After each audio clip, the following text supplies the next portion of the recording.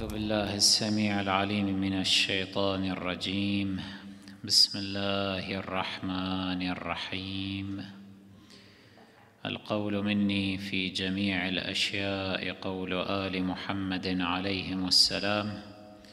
فيما أسروا وما أعلنوا وفيما بلغني عنهم وفيما لم يبلغني. الحمد لله رب العالمين. وصلى الله على خير الخلق أجمعين. سيدنا محمد وأهل بيته الطيبين الطاهرين. اللهم صل على محمد.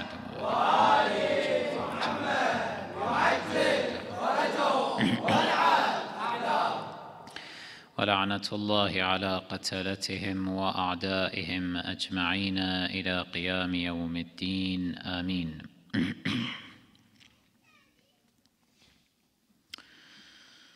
حث الإسلام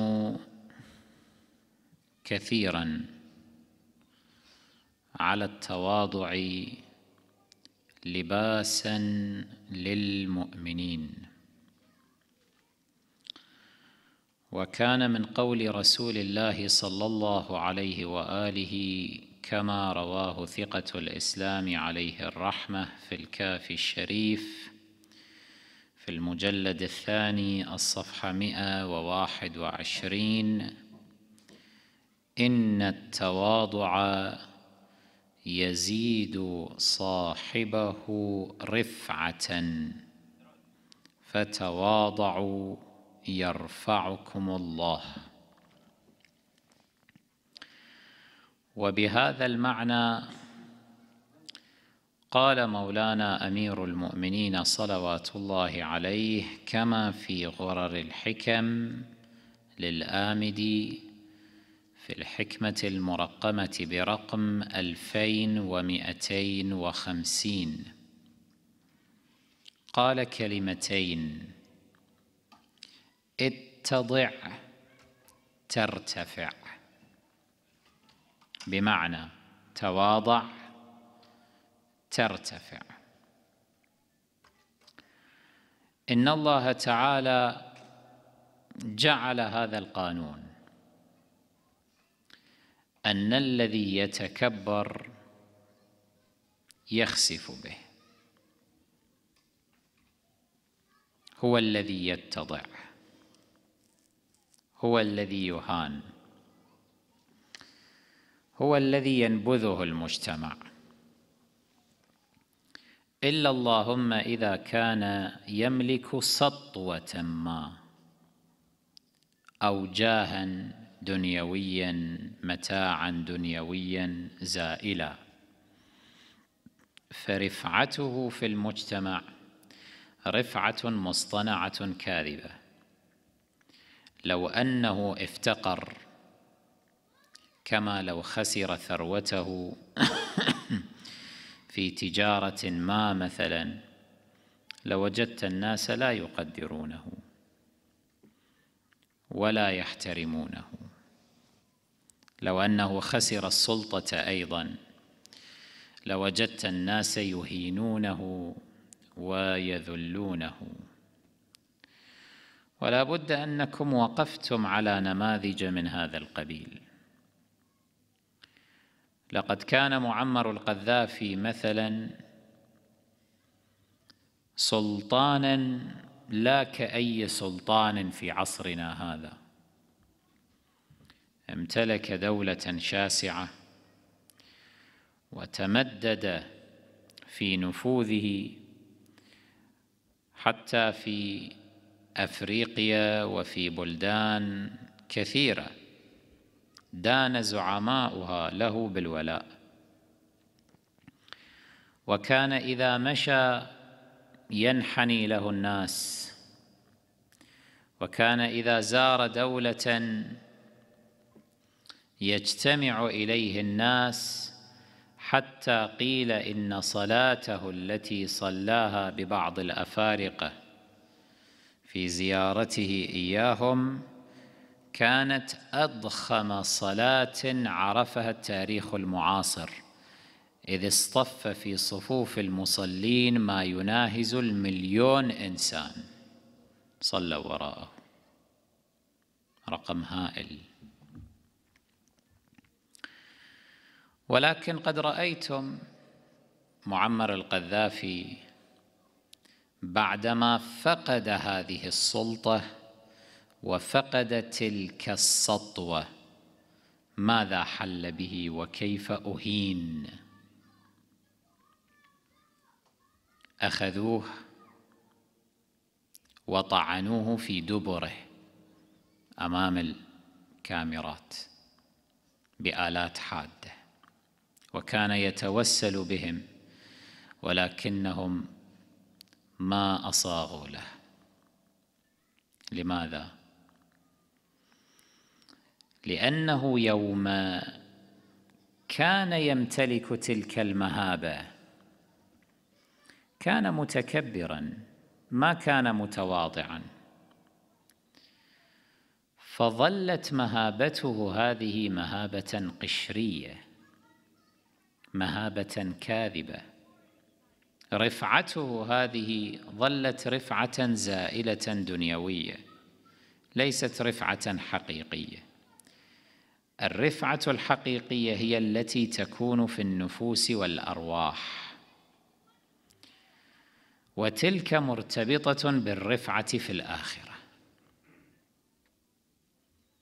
فإذا زالت تلك الرفعة الدنيوية لم يعد لتلك الشخصية شيء. يفقد كل شيء. وأعرف أنا نموذجا آخر لتاجر من التجار الذين وفدوا إلى الكويت في عصرها الذهبي أي السبعينيات. لما كان الاقتصاد الكويتي اقتصادا يضرب به المثل في المنطقة وكان الذين يريدون الثراء السريع يذهبون إلى الكويت ويتجرون هناك خاصة في المضاربات في سوق الأسهم الذي كان يقال له سوق المناخ. كان هذا التاجر تاجرا إيرانيا. لكنه حاز الملايين في تلك الفترة. وكان الناس يعظمونه ويحترمونه ويجلونه ويرونه رفيع الشأن. لكن عجلة الزمان دارت فإذا بهذا التاجر يخسر. ويقع في الديون المتراكمة. فلم يعد أحد يحترمه حتى قال لي أحد الإخوة إني رأيته في أواخر التسعينيات في مشهد المقدسة عند حرم الإمام الرضا عليه الصلاة والسلام وهو يمد يده متسولا. أين كان وإلى أين انتهى. لعله أقول لعله أنا لست واقفا على كل تفاصيل حياته وتفاصيل شخصيته لكن أقول لعله كان متكبرا فوضعه الله. أما هؤلاء الأبرار هؤلاء الصلحاء الذين لا يملكون سلطة أو جاها دنيويا أو ماليا. فإنك تجد أن الذي يرفعهم هو الله تبارك وتعالى. قد تجده فقيرا لا يملك شيئا يذكر. لكن الناس يعظمونه ينحنون له يقبلون يديه يجلونه. وإذا مات تجد الجماهير الغفيرة تشيعه بخلاف غيره. لماذا؟ لأنه تواضع فرفعه الله. قال النبي صلى الله عليه وآله إن التواضع يزيد صاحبه رفعة. فتواضعوا يرفعكم الله. وقال الوصي عليه الصلاة والسلام اتضع ترتفع. حفظوها هذه كلمتين. اتضع ترتفع.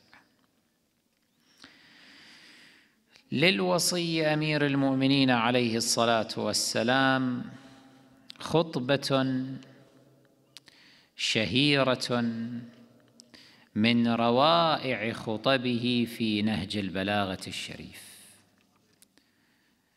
يطلق على هذه الخطبة اسم الخطبة القاصعة. في هذه الخطبة فقرات مهم جدا أن نقف وإياكم عليها لأن لها مساسا أو اتصالا ببحثنا هذا. تحدث فيها أمير المؤمنين عليه السلام عن التواضع.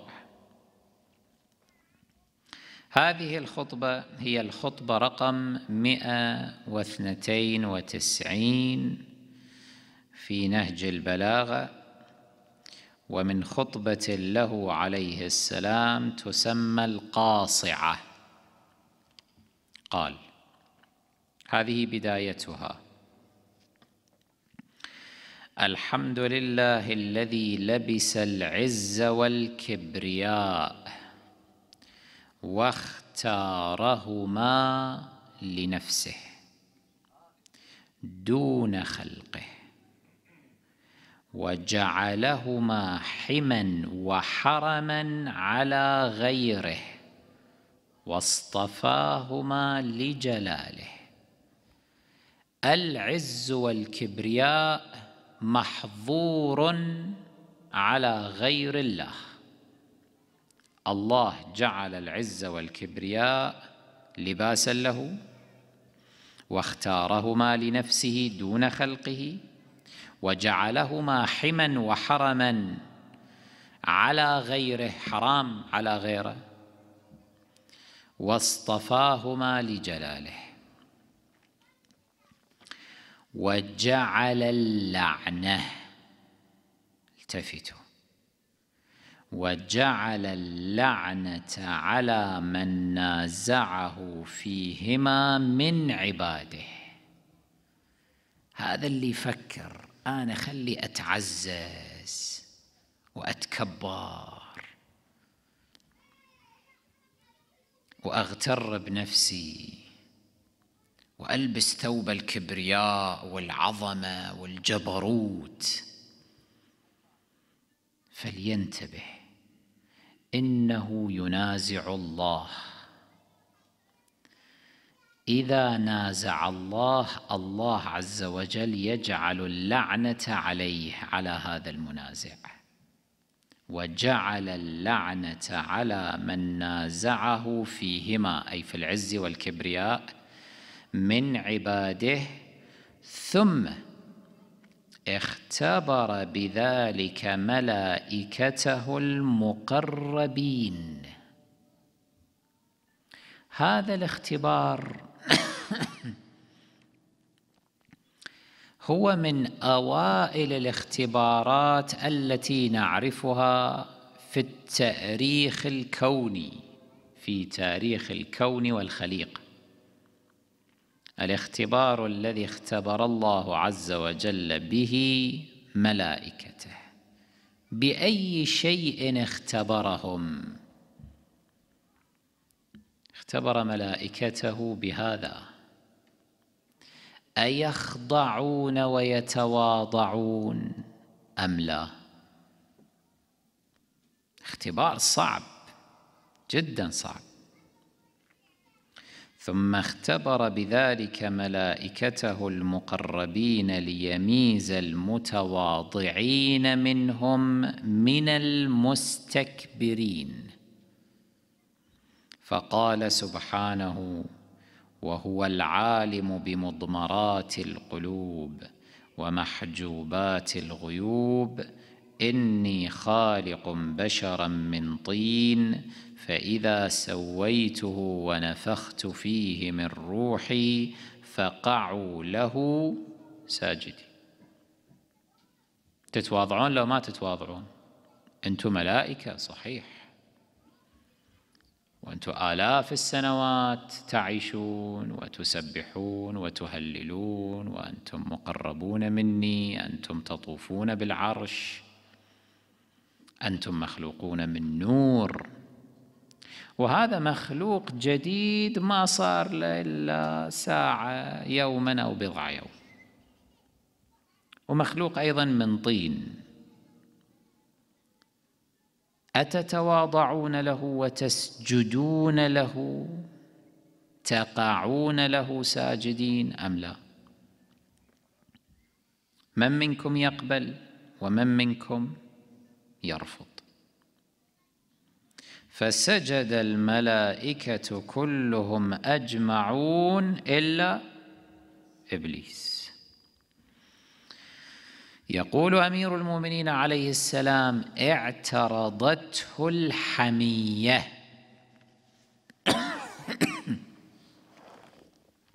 اعترضته الحمية. وعصبية.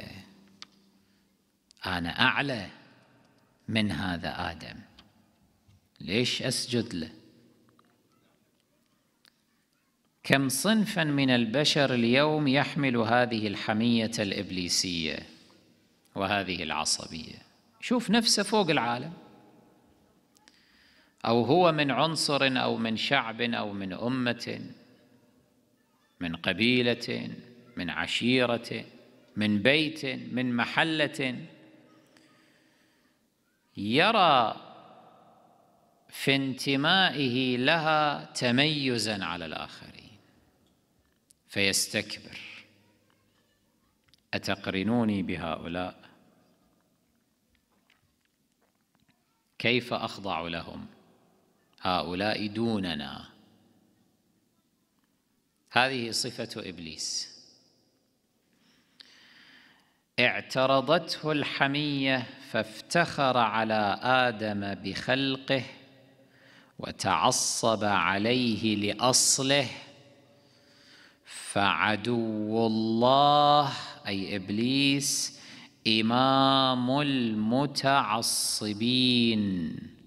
وسلف المستكبرين الذي وضع أساس العصبية ونازع الله رداء الجبرية وادرع لباس التعزز وخلع قناع التذلل.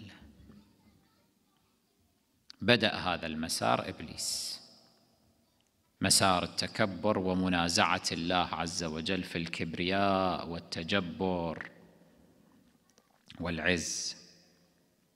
فماذا حصل فيه؟ أو ماذا حل له؟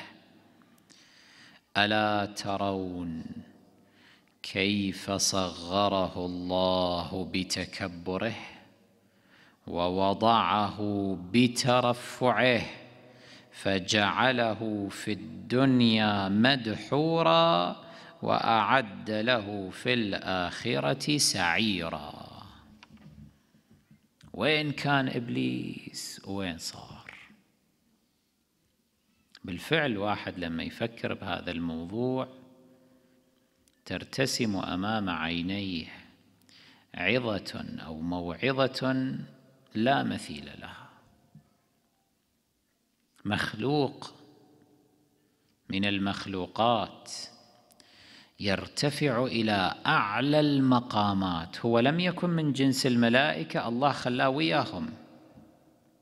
تخيل أنت أنت تخيل الآن أنه أنت جنابك في هذه الدنيا بسبب اجتهادك في العبادة وتقواك وورعك وصلاحك الله عز وجل يجي هالشكل يأمر فتنشال من هذه الدنيا ترتفع في السماوات إلى أن تصل قريب العرش وتصير ضمن مجتمع الملائكة.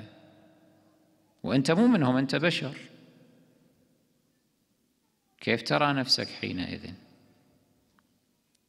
إبليس هكذا. إبليس كان يعيش على هذه الأرض. لما خلق ما خلق هناك؟ خلق من نار وعاش على هذه الأرض. سجدة واحدة من سجداته لله عز وجل كما في بعض الآثار طالت أربعة آلاف سنة. كان هكذا يعبد الله هكذا يصلي لله. فالله مكافأة له أخرجه أو رفعه من مجتمع الجان إلى مجتمع الملائكة ضمه إليهم. شخص مميز مخلوق جدا مميز متفوق لكنه سقط في هذا الاختبار. سجدة واحدة. قال لله عز وجل أنا لك أسجد أما لهذا الذي هو أدنى مني أبدا. ما تقبل نفسي هذا الشيء أنت تذلني يا رب. أنت تذلني. هذا إيش فهم آدم؟ أنا وين؟ أنا معرفتي أكثر منه حسب ما هو كان يتصور. يتصور أنه آدم هذا للتو قد خلق ما عنده معرفة. في حين أنا مخضرم عندي معرفة بك يا رب عندي عبادة. هذا ما للتو الآن خلق ما لحق يعبد أصلا. ليش يعني أنا مع هذا التأريخ اللي عندي؟ هاي الحكاية هواية عند على بعض الألسن ألسنة. سامعينهم يقول لك أنا إلي تاريخي مو؟ عندي هذا التاريخ آخر شيء تجيب هذا اللي هسه جاي جديد وكذا تخليه على رأسي. تخلي هذا هو اللي يتحكم هذا بيده مقاليد الأمور. لازم أخضع لهذا الشخص لا أنا ما أقبل. هذا أقل منه. مستوانا أعلى. لماذا أهملت تاريخي؟ لماذا أهملت إنجازاتي؟ هذا هو المنطق الإبليسي المقيت. عينه عين هذا المنطق استعمله إبليس في تضاعيف منطقه. وكله ارتكز على أساس الافتخار العصبي. أنا خلقتني من نار وهذا خلقته من طين والنار خير من الطين. جوهري خير من جوهره فينبغي أن أكون أنا المقدم عليه وهو من يخضع لي لا أنا أنا الذي أخضع له. أنا رتبتي أعلى. أنا واصل رتبة عسكرية أعلى. شلون هذا جندي للتو الآن جاي يجي هو يتأمر علي؟ شلون يصير؟ أنا بالأقدمية شلون هذا اللي ما عنده هذا التاريخ ما عنده هذا القدم هو الذي يتحكم. ولازم بعد أسجد له. مو مثلا احييه أو قفله. لا أسجد أسجد. يعني مسألة جدا صعبة على النفس. إبليس سقط في الاختبار لكن الملائكة على عظمتها وجلالة قدرها نجحت. يعني جبرائيل وهو من سادة الملائكة نجح. ميكائيل إسرافيل هؤلاء الشخصيات البارزة في المجتمع الملائكي نجحوا وامتثلوا فورا. سجدوا لآدم.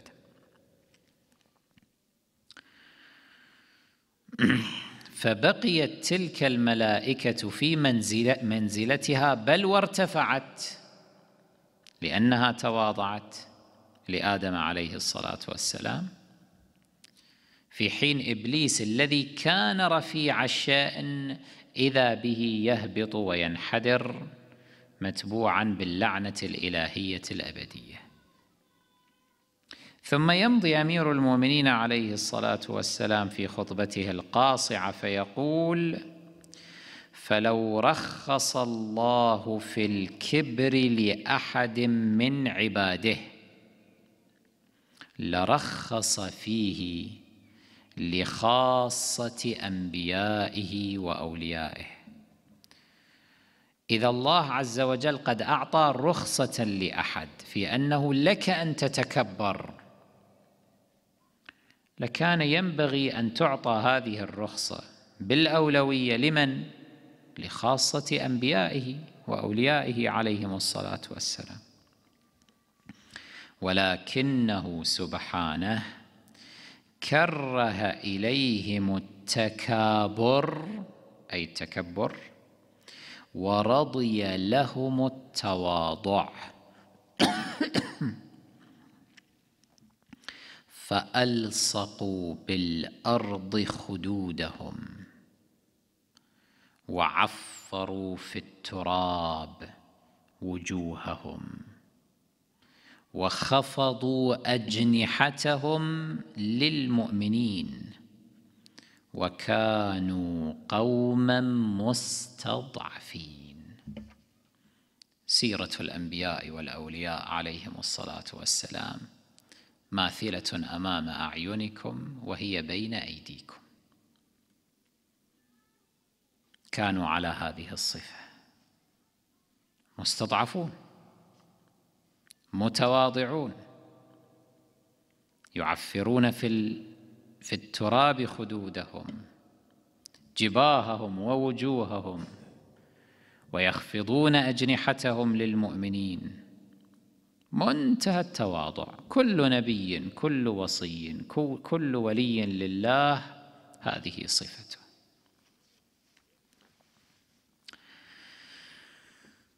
ويبقى هذا الاختبار. هذا الاختبار أيها الإخوة الأكارم يبقى. ولا بد أن يمتحن فيه أو به كل مؤمن ومؤمنة. لابد. بل وانتبهوا جيدا لهذه الكلمة. كلما ازددت إيمانا كلما كانت فرصة تعرضك لهذا النوع من الاختبار فرصة أكبر. كلما اقتربت من أهل بيت النبوة صلوات الله عليهم وعرفك الناس بهذا الاقتراب أو بهذه القربة كلما كنت معرضا للانزلاق والفشل والسقوط في اختبار التواضع أكثر. لماذا؟ لأن أهل البيت صلوات الله عليهم الالتحاق بهم مجد عظيم وشرف لا يدانيه شرف. من يعرف في الناس بأنه خادم لأهل البيت تجده يرتفع حتى وإن لم يكن ذا جاه أو سلطة أو مال أو ثروة أو عشيرة أو عائلة أو أسرة مرموقة. حتى وإن لم يكن معروفا أصلا. سبحان الله تجده يرتفع في هذه الدنيا قبل الآخرة. وخاصة إذا كان منشغلا بالخدمة الحسينية. يرتفع ويغدو مرموقا في الأمة. يعرفه الصغير والكبير. يقال له هذا خادم الحسين فلان الفلاني. كلنا مثلا نعرف كاظم منظور الكربلائي. ومن كان؟ كان واحد من المستضعفين من الناس. لكن ارتفع وبلغ اسمه الشرق والغرب. لماذا؟ نتيجة اقترابه من أهل البيت عليهم السلام وانشغاله بهذه الخدمة الحسينية. بمقدار ما نجح هؤلاء هنالك من رسب. في الجانب الآخر. فلما ارتفعوا برافعة أهل البيت عليهم السلام هذه رفعتهم. يعني هو كان شخص مغمور غير معروف مهمل الذكر. وإذا به لأنه انشغل بهذه الخدمة انشغل بهذا الاقتراب لأهل البيت عليهم السلام ونصرتهم حاز على مجد فعرف وشهر وصار ذائع الصيت وارتفع مقامه وعلت منزلته. ففي كثير من الأحيان يصاب بهذا الداء داء الكبر. داء الغرور داء الشعور بالعظمة وأنه آن وآن عظمة الذات تتضخم في نفسه هذه الأنا فيبدأ بالتكبر. كان متواضعا يوما ما خاصة في بداية طريقه. حين خطى الخطوات الأولى لكنه في نهاية طريقه صار رافع خشمه فوق. يقولون تغيرت صفاته أخلاقه تغيرت.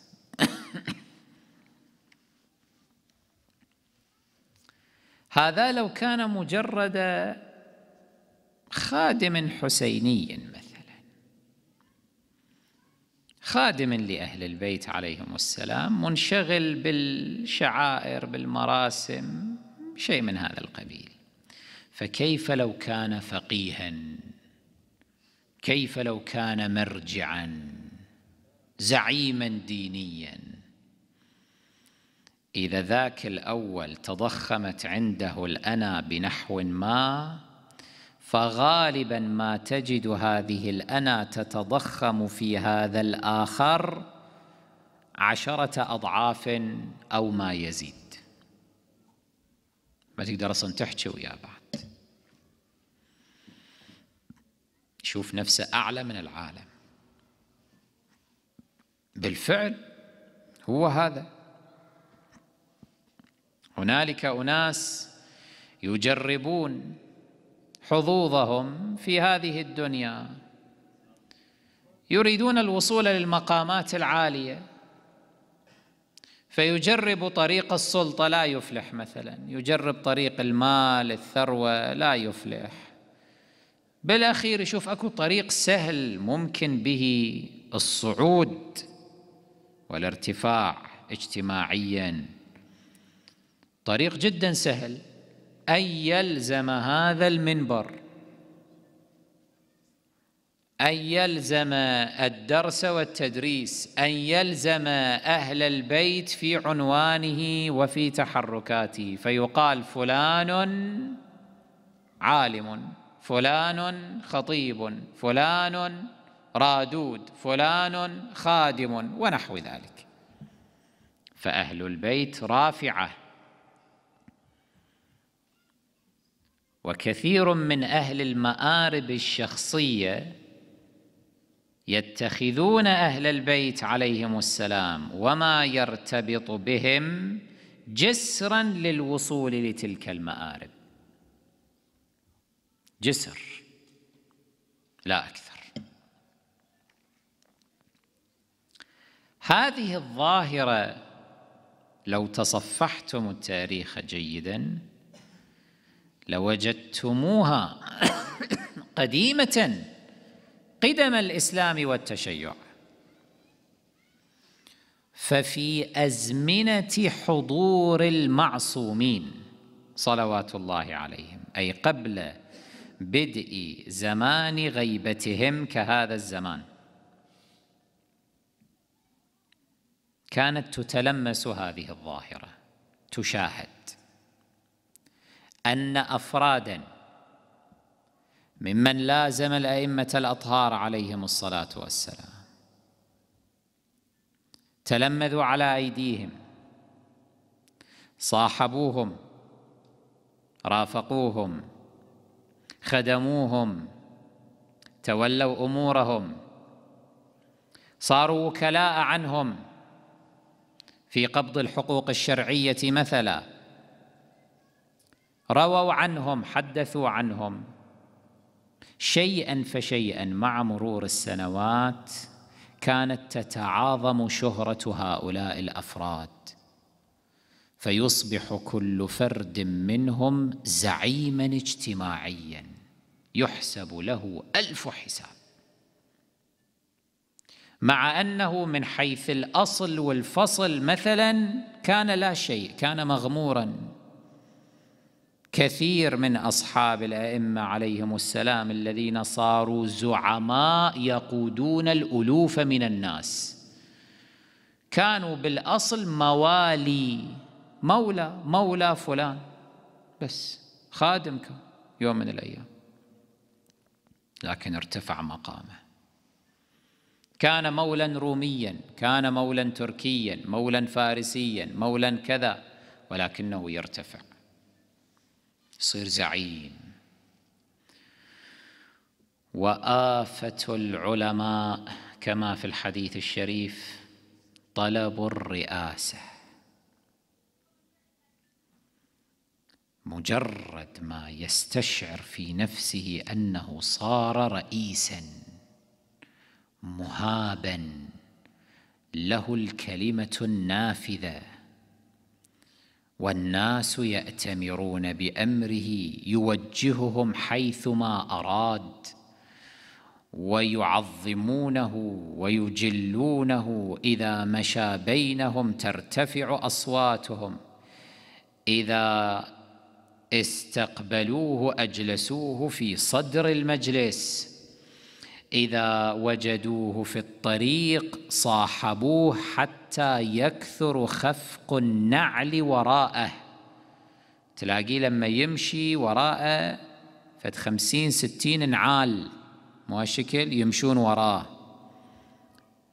ويمكن يهوسوا له أيضا. ويبوسون حتى التاير مال الجكسارة مالته. شوف نفسه. أنا صرت عظيم يعني.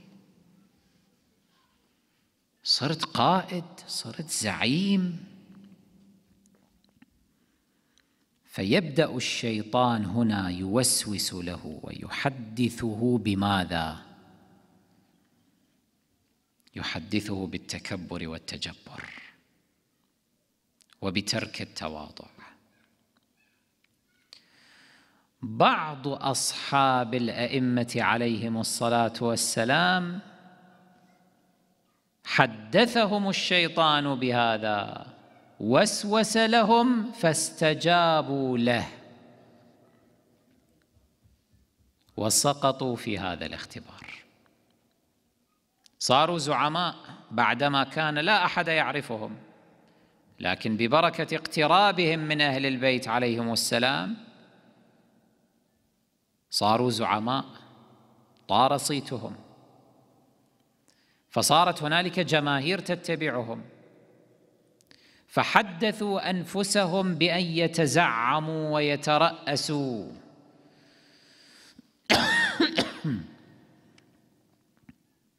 وأن يوجهوا الناس على بوصلة شخصية.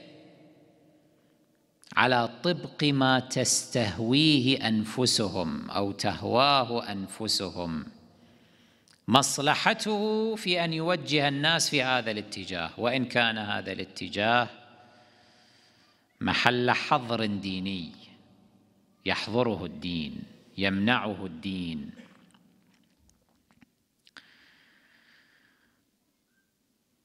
فانطلقوا بالناس هكذا.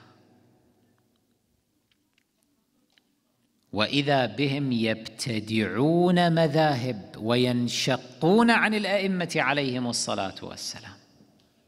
انشقاقات صارت ومذاهب ابتدعت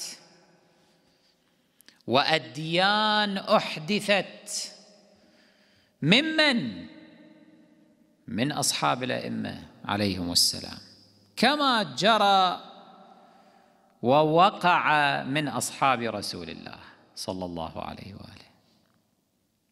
لأنهم لا يريدون الخضوع. يشوف نفسه خلص بعد أنا وصلت إلى مرتبة اللي مو لازم بعد أنا أخضع للأئمة. ليش لازم أخضع لهم؟ أنا وهم على كفتي سواء. أحد هؤلاء الذين سقطوا كان عبد الله بن عباس. عبد الله بن عباس. أي مقام كان يمتلك لولا النبي وأهل البيت عليهم السلام؟ وتحديدا لولا النبي والوصي. اولا في زمان النبي صلى الله عليه وآله كان طفلا. طفل صغير عمره تسع سنوات عشر سنوات مو أكثر. وكان ابنا لمن يعد من الطلقاء. العباس عم النبي يعني هو قبيل فتح مكة أسلم التحق بالمسلمين. كان معدودا ضمن الطلقاء أصلا حتى أمير المؤمنين عليه السلام يصفه هو يصف العباس عمه ويصف عقيل أخاه بأنهما الطليقان. يقول هذين هذان طليقان مضمون الكلام الشريف. وبقيت بين طليقين خائرين. شيء من هذا القبيل موجود اقرأوا في روايات أمير المؤمنين عليه السلام في سليم بن قيس وغيره. كانا من الطلقاء يقول أمير المؤمنين. فهذا عبد الله بن عباس لم يكن شيئا يذكر لكن ملازمته بالذات لأمير المؤمنين عليه السلام.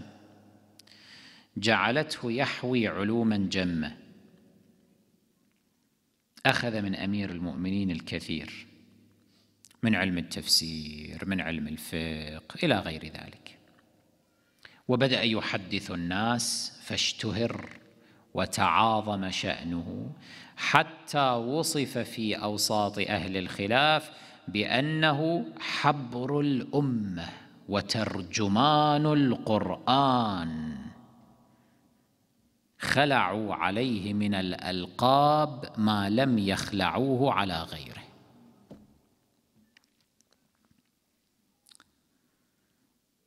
ولكنه أصيب بهذا الداء بعدما صار مشهورا. أصيب بداء التكبر. فتكبر على الأئمة الأطهار عليهم الصلاة والسلام. بدأت هذه النوازع تنزع به نحو التكبر أكثر فأكثر وبدأت في أواخر عهد أمير المؤمنين عليه السلام. تكبر على أمير المؤمنين تكبر على الحسن على الحسين. وامتد به العمر إلى أن أدرك علي بن الحسين السجاد. ومحمد بن علي الباقر صلوات الله عليهم أجمعين فتكبر عليهم.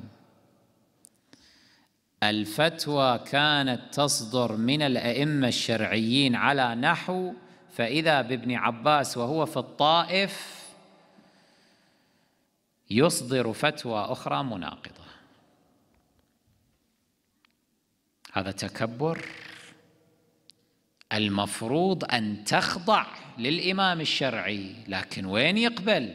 يقول آنا اللي أدركت الرسول وأدركت أمير المؤمنين وأنا قديم ومع تاريخي ومع اللي وصلته وأنا الآن شيبة ومن زعماء بني هاشم صرت. والمسلمين كلهم يعرفوني. آنا بالأخير بآخر عمري أجي أخضع لواحد طفل من عمر أحفادي هو محمد بن علي الباقر وأخليه هو يمشي كلامه علي. فتواه وحكمة هو اللي يمشي؟ لا أنا ما أسويها. أنا أستقل بنفسي أنا مرجعية. شو اللي ينقصني أنا؟ أنا مرجعية مستقلة. راح فتح له مكتب آية الله العظمى. ابن عباس وين؟ في الطائف. أعلن مرجعية بدأ يفتي الناس في النملة والقملة. ويتكلم ويخرط من الحكي كما يشاء. ويبث الإسرائيليات التي تعلمها من كعب الأحبار. وخرب ديننا كله. للعلم ابن عباس هذا اللعين أحد أسباب خراب وتزييف الدين الإسلامي الأسباب الكبرى بمعنى الكلمة. تتبع أنت طرق الإسرائيليات عندنا وعند مخالفينا تجد قسما كبيرا منها ينتهي إلى ابن عباس. مصيبة مصيبة وحلت علينا. واغتر به أهل الخلاف واغتر به أيضا أهل الوفاق. الشيعة كذلك اغتروا به بل حتى بعض الرافضة. وإلى يومنا هذا. سقط في الاختبار. لكن واحد آخر مثلا من عمره كذلك كان بل لعله شوية أكبر منك كان. وأيضا من أصحاب رسول الله صلى الله عليه وآله وأيضا له قدم وتأريخ. نجح في الاختبار. وهو جابر بن عبد الله الأنصاري رضوان الله تعالى عليه. هذا ما تكبر. ما تكبر هذا. أدرك الإمام الباقر كما أدركه ابن عباس لكنه كان ينحني للإمام الباقر ويقبل يده. وهو شيخ. طاعن في السن. فيقال له أنت صاحب رسول الله وأنت كذا وكذا. تروح لهذا تقبل يده وتحضر عنده كان يحضر عند الإمام الباقر عليه السلام. حالة من حال أي تلميذ آخر. فكان يقول نعم هذا هو الإمام. رسول الله بشرني به وبشرني بأنني سأدركه. وأقرأته السلام عن رسول الله صلى الله عليه وآله في القصة المعروفة التي تعرفونها. الأئمة الأطهار عليهم الصلاة والسلام أحيانا كانوا يلاحظون هذه الظاهرة ويخشون تداعياتها ومضاعفاتها في نفوس بعض المقربين منهم. فكانوا يتدخلون فورا بعمليات جراحية لإصلاح النفوس. أحد كبار كبار أصحاب الإمامين الباقر والصادق عليهم عليهم الصلاة والسلام.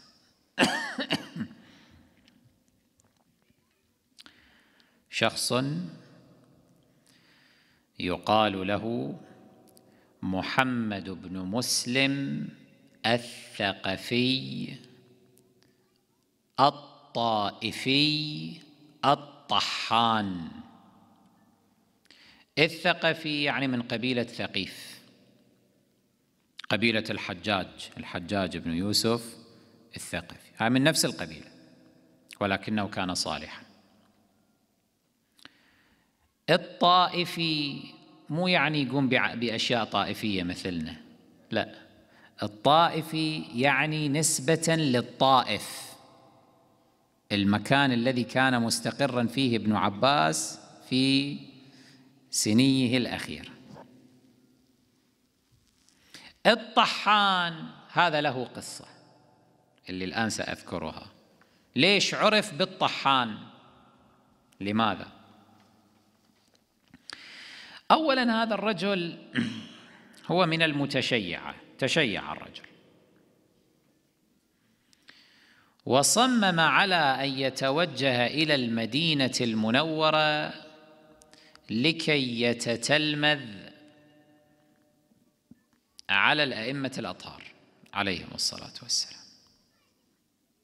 فلازم الإمامين الباقر والصادق عليهما الصلاة والسلام مدة أربع سنوات. أربع سنوات تتلمذ فيهن عند هذين الإمامين العظيمين فصار وعاء للعلوم. وعاء للعلوم صار. مئات الروايات إلى زماننا هذا تنتهي إلى محمد بن مسلم. لما أكمل هذه الدورة التعليمية المميزة ذهب إلى الكوفة واستقر فيها. وشيئا فشيئا لما حمله من علوم آل محمد الأطهار عليهم الصلاة والسلام. ومعروفيته في أوساط الشيعة بالقرب منهم والرواية عنهم شيئا فشيئا ارتفعت منزلته وذاع صيته وصار المرجع الديني الأول لشيعة الكوفة للشيعة في الكوفة آنذاك.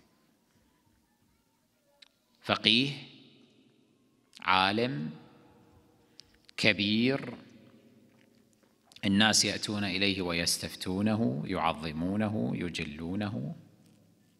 فارتفع شأنه. وما إن ارتفع شأنه وصار زعيما من زعماء الشيعة في الكوفة إلا وخيف عليه.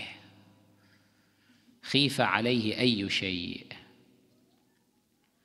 خيف عليه أن يتكبر أو يغتر. أن يصاب بداء الكبرياء وجنون العظمة. الائمه عليهم الصلاة والسلام وتحديدا الإمام الباقر صلوات الله عليه استشعر هذا الخطر وخاف على هذا الرجل. فأمره بأن يتواضع. في قصة رائعة سأذكرها لكم نقلا عن كتاب اختيار معرفة الرجال لشيخ الطائفة الطوسي الذي هو كتاب الكشي عليه الرحمة في الأصل المعروف برجال الكشي في الصفحة 165 عن عبد الله بن محمد بن خالد الطيالسي عن أبيه قال كان محمد بن مسلم من أهل الكوفة يدخل على أبي جعفر عليه السلام الباقر فقال أبو جعفر بشر المخبتين. المخبتين يعني الخاشعين المتواضعين. وكان محمد بن مسلم رجلا موسرا جليلا. وفي الرواية التي تليها بنفس المضمون رجلا شريفا جليلا. هو أيضا كان مكتفيا ماليا كان غنيا. الله فتح عليه الرزق. وعادة الناس إذا واحد يجمع الشرفين الدين والدنيا إذا رأوا واحد يجمع الشرفين فإنهم لا يعدلون به أحدا لأنه هم هذا الدين يجي من عنده هم فلوس هم تجي من عنده. يعني تخيل مرجع تقليد مليونير. الناس طبعا يعني لا شك تقول هذا هو الأعلم يجب تقليده مية بالمية. أما مرجع تقليد آخر مديونير مثلا الناس تقول ما لازم تقلدون هذا هذا مو الأعلى ما لكم شغلة به الناس هكذا هاي طبيعة الناس. هذا مرجع تقليد مليونير كان محمد بن مسلم. يعني الله فاتح عليه فيجمع الشرفين. زين. والناس تحت طوع أمره كانوا. ناس طوع أمره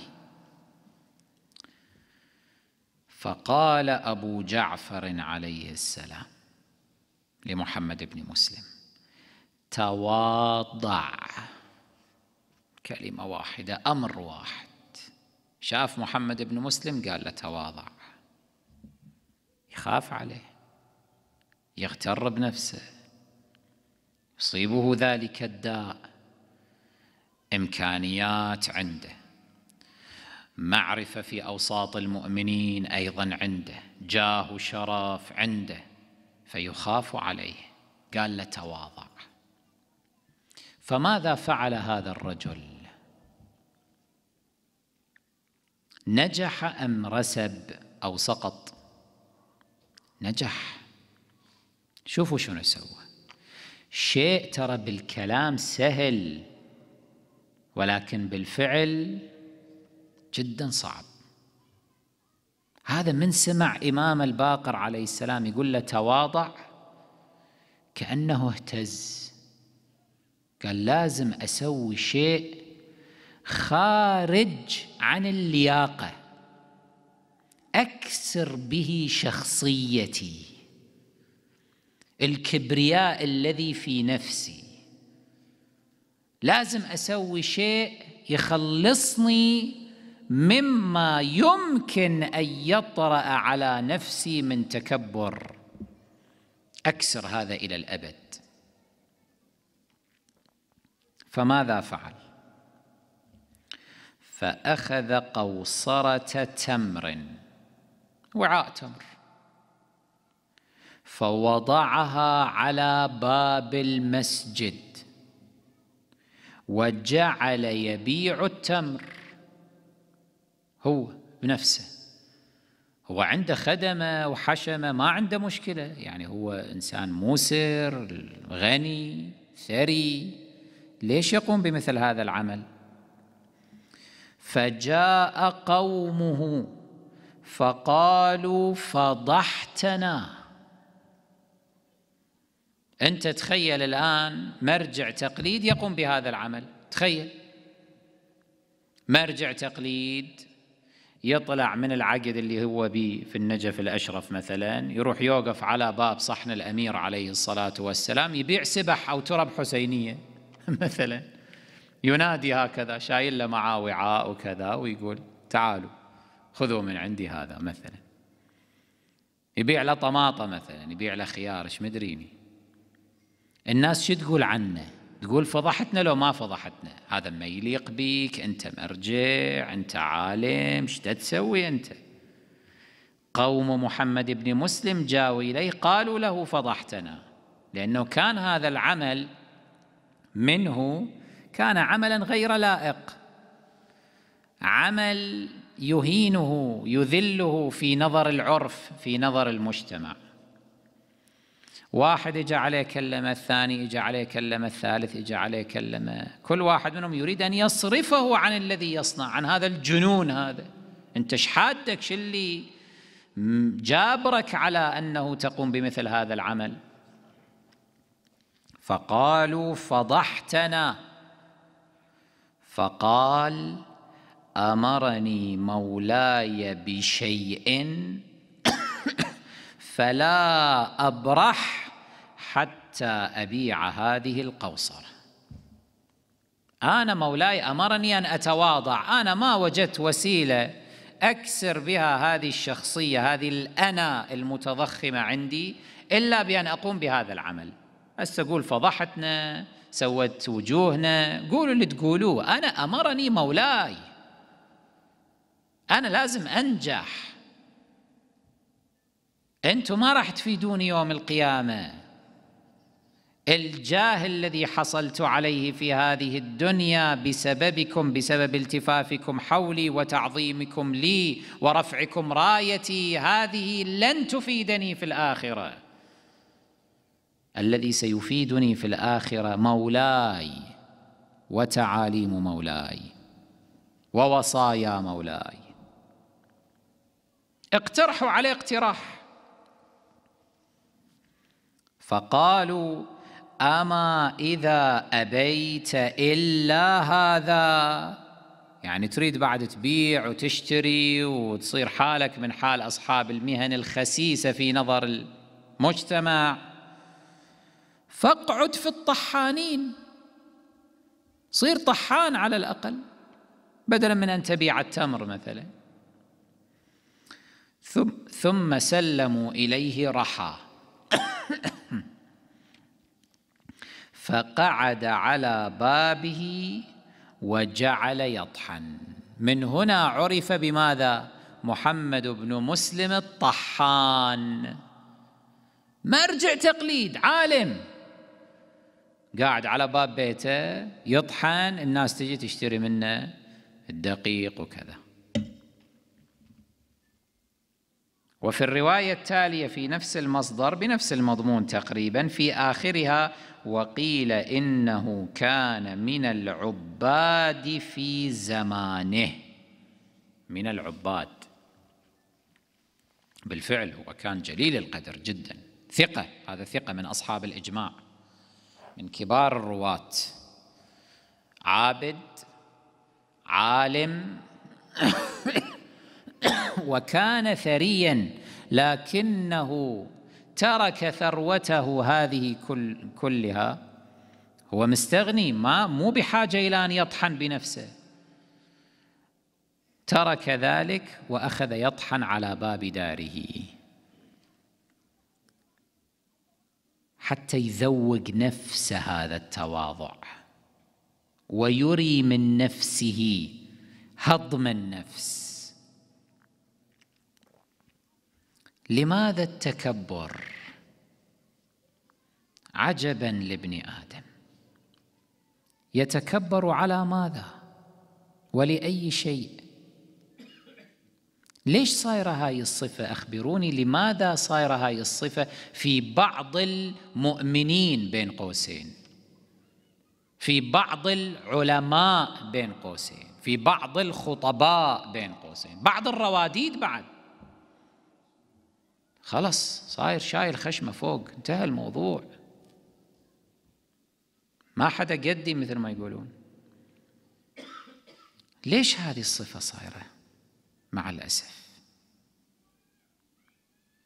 أمير المؤمنين عليه الصلاة والسلام له كلمة رائعة. تهز الوجدان الإنساني. هذه الكلمة رواها عنه الصدوق بسنده الذي ينتهي إلى الإمام الصادق عليه السلام عن آبائه الأطهار صلوات الله عليهم عن أمير المؤمنين.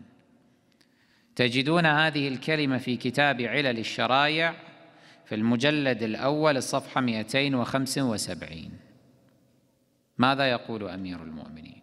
حكمة من أعظم الحكم حقيقة كلمه تهز الوجدان قال صلوات الله عليه عجبت لابن آدم. أوله نطفة. وآخره شنو؟ جيفة. وهو قائم بينهما وعاء للغائط. أجلكم الله. هذه حقيقتنا. هذا هو هذا بدننا. هذا بدلنا البيولوجي هو هذا.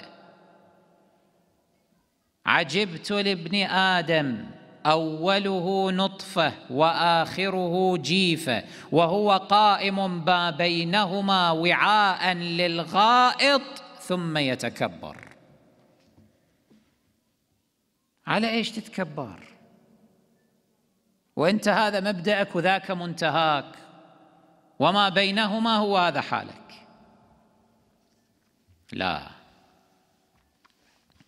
شخصية المستقبل هي الشخصية التي لا أقول تفر من التكبر بل تحاربه تحارب نفسها تحارب نفسك. إي نعم تروح وتضع خدك على التراب. مهما بلغت من مقام. وتعمل في أقل المهن. وإن كنت غير محتاجا محتاج إليها. إذا كان لها نفع في تهذيب نفسك وترويضها. أمير المؤمنين صلوات الله عليه وهو الثاني أعظم مخلوق بعد رسول الله صلى الله عليه وآله. عمل هذا. لسنا نتكلم الآن عن محمد بن مسلم نتكلم عن علي بن أبي طالب صلوات الله عليهما. انظر بربك. إمامنا العسكري صلوات الله عليه كما تعلمون له تفسير شريف.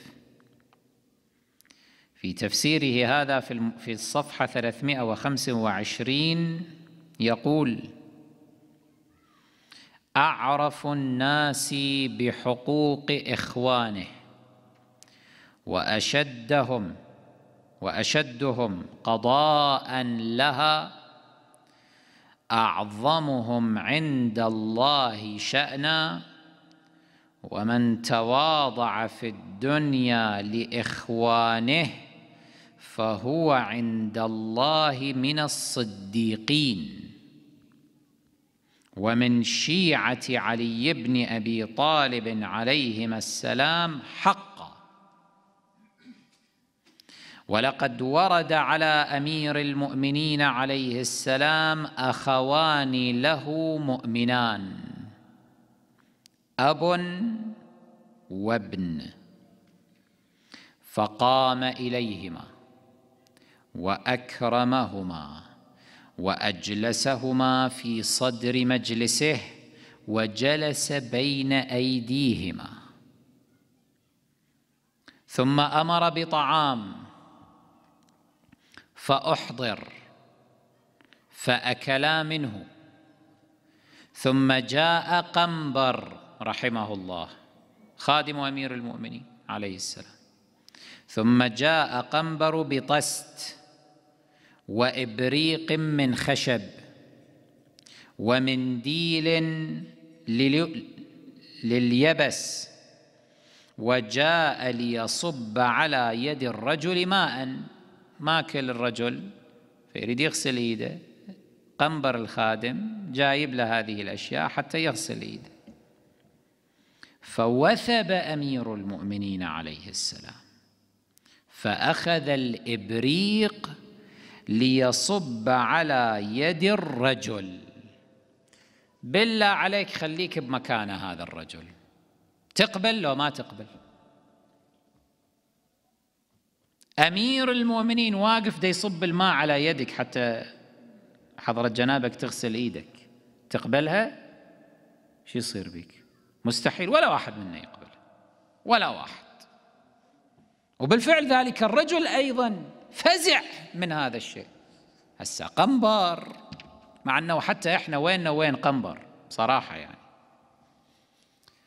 هسه قنبر مشاها بس أمير المؤمنين يثب ويروح وياخذ الإبريق ويصب الماء على يدي. لا حاشا لله أنا مستحيل أقبل هكذا شيء. فزع الرجل. فتمرغ الرجل في التراب. وقال يا أمير المؤمنين يرى الله يراني وأنت تصب الماء على يدي. مستحيل. قال اقعد. واغسل يديك. فإن الله عز وجل يراك وأخاك. أنا أخوك. يراك وأخاك الذي لا يتميز منك ولا يتفضل عنك ويزيد بذلك في خدمه في الجنة مثل عشرة أضعاف عدد أهل الدنيا وعلى حسب ذلك في ممالكه فيها. أنا أخوك لا أريد أن أتزيد عليك يعني أتكبر. اتركني أنا أخدمك. وأنا أحصل بسبب ذلك على خدم في الجنة عشرة أضعاف وفي الممالك كلها. فقعد الرجل فقال له علي عليه السلام أقسمت عليك بعظيم حقي الذي عرفته وبجلته وتواضعك لله حتى جازاك عنه بأن ندبني لما شرفك به من خدمتي لك لما غسلت مطمئنا كما كنت تغسل لو كان الصاب عليك قنبرا. حقيقة شيء يهز الإنسان. أمير المؤمنين يقول له أولا أنا أقسم عليك بحقي عليك. إحنا ما نقبل صحيح لكن إذا أمير المؤمنين أقسم علينا صار أمرا مولويا نقدر نرفض؟ ما نقدر نرفض. الرجل وجد نفسه في هذا الموقف الحرج. أمير المؤمنين يقسم عليه. شو يقول له؟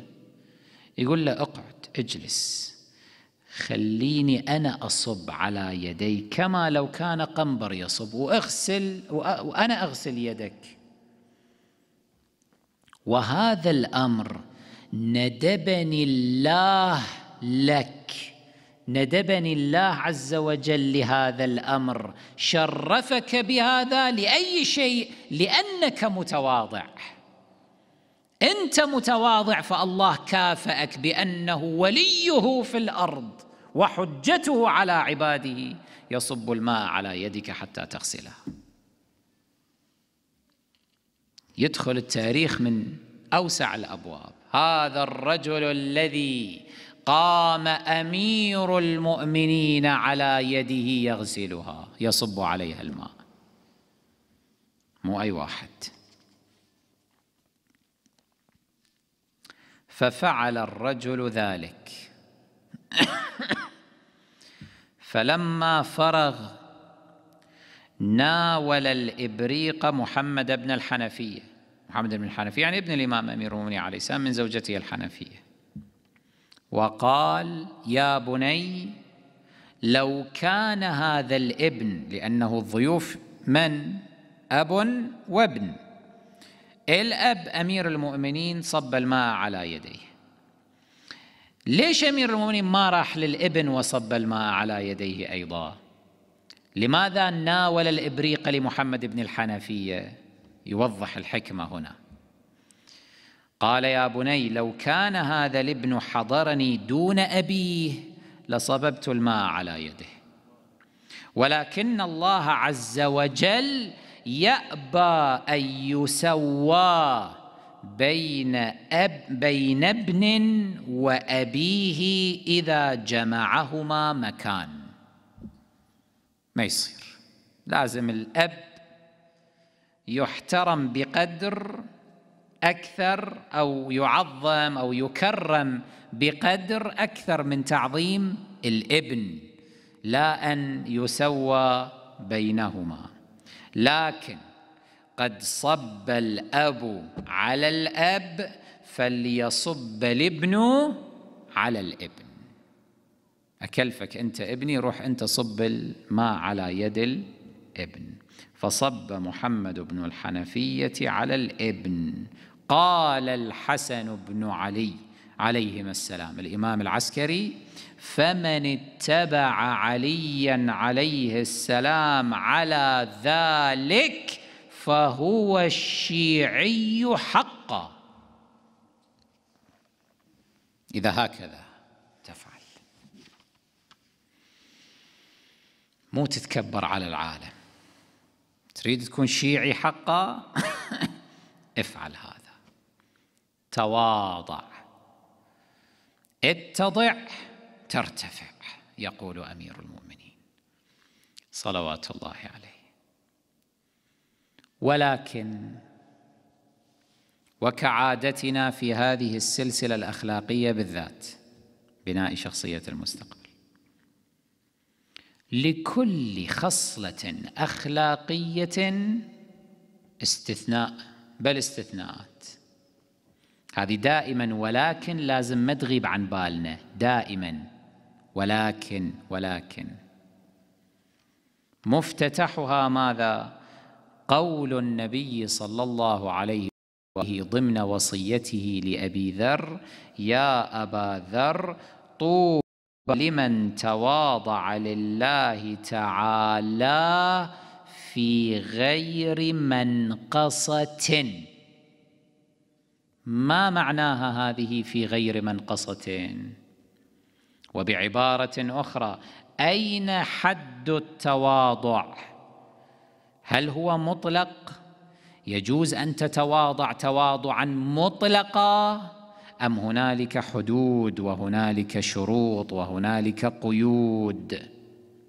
وهل يا ترى يكون أحيانا المطلوب هو التكبر بدلا من التواضع حتى أنك لو تواضعت في ذلك الموقف كنت قد ارتكبت إثما والواجب عليك أو المتعين عليك أن تتكبر في ذلك الموقف. هذا الذي يحتاج إلى تفصيل نرجئه إن شاء الله تعالى للمحاضرة المقبله من هذه السلسلة. وصلى الله على سيدنا محمد وأهل بيته الطيبين الطاهرين. اللهم صل على محمد